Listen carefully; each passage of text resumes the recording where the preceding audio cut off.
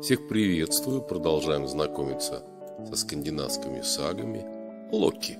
Локи в скандинавской мифологии зловредный бог, плут из асов, любитель менять обличие.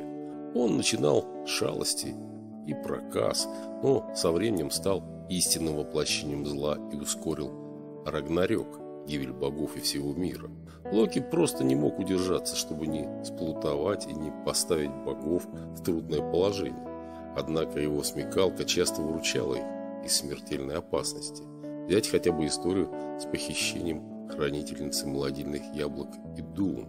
Именно Локи виновен в смерти светоносного бога Бальдра. Он вручил несущую гибель стрелу из Амелы слепому богу Хёду. Порой Локи, спасаясь, готов был пожертвовать жизнью любого бога, как в случае с громовником Тором. Когда Локи заманил безоружного Тора в чертог великана Гиреда, то лишь одолженные добрые великанши Грид, чудесный посох и железные рукавицы спасли Тора от гибели. Локи обманул приятеля единственно потому, что такова была цена, назначена Гейредом за его собственное освобождение. Неосмотрительно убив Отра в обличии выдры, Локи пытался умилостивить отца убитого юноши, для чего ему пришлось похитить сокровище злобного карлика Цверга. Тут же Локи придумал рискованный план, как заполучить молот Тора, украденный карликами и попавший в руки великана Трюма. Бог узнал, что за молот Исполину нужно отдать жены богиню плодородия Фрей и уговорил Тора отправиться к Трюму в ее одежде. Когда Трюм показал мнимой невесте молот, Тор мгновение ока выхватил у него оружие и уложил на месте всех великанов. Боги мирились с присутствием Локи в Асгарде, даже после того, как он подстроил убийство сына Одина Бальдра.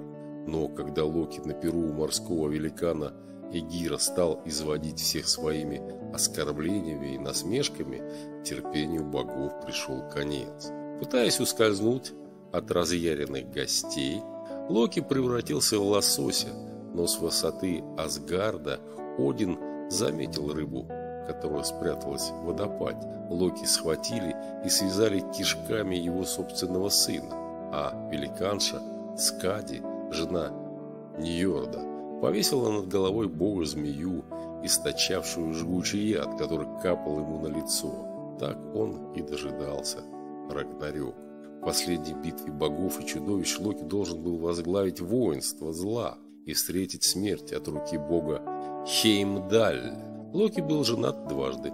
Сначала на великанше Ангербоде, которая родила чудовищ Фенрира, Йормунганда и Хель.